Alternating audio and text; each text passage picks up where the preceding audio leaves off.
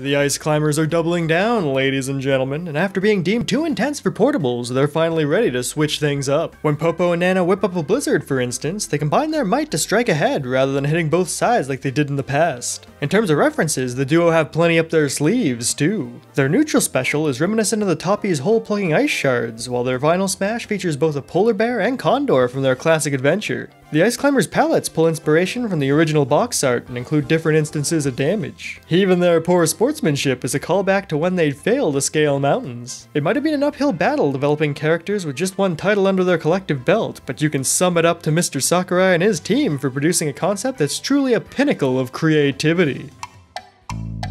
Hey there, pal. Thanks for watching. The Ice Climbers didn't make it for the fourth installments of the series, but did you miss them? I can appreciate their presence on the roster and their place in Nintendo's history, but they're not quite my cup of tea.